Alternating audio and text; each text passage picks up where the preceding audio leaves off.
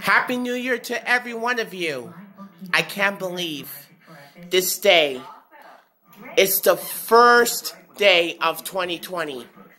January 1st, 2020. It doesn't feel like anything, but everyone believes it is. Only God knows, too, in the first place. And hopefully, it'll be a brand new, extraordinary, fresh, better year for me, especially for all of us. And all of your special need people out there, I wish you a happy new year as well. Who, ones that I don't know, and ones whom I do know.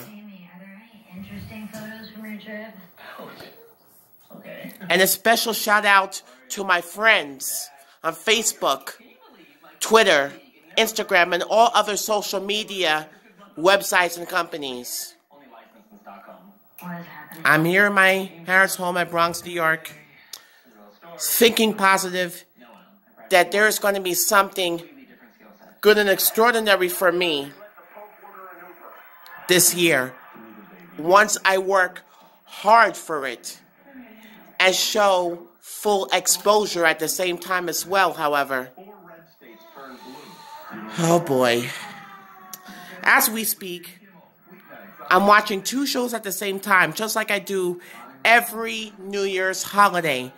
I'm watching Dick Clark's Rockin' Eve and my all-time favorites, The Honeymooners, featuring Jackie Gleason, Art Carney, Audrey Meadows, and Joyce Randolph, which are all gone, but they'll always be remembered and never forgotten. They'll always be on TV. And just like that, that means their spirits will be there. Anyway, I don't have anything else to say. But for now, again, happy 2020 to each and every one of you. And God bless you all. And to all, a good day. A New Year's Day, better yet.